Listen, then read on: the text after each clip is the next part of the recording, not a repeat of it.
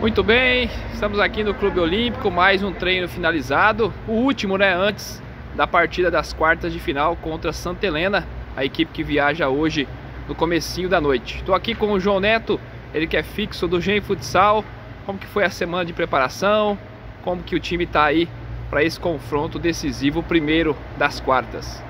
Então, Gabriel, a gente fez uma semana intensa de trabalho visando o jogo de Santa Helena. Desde semana passada a gente está visando esse jogo, então tenho certeza que a gente vai fazer uma excelente partida. O grupo está bastante focado e tenho certeza que a gente vai fazer uma grande partida e trazer os três pontos de lá.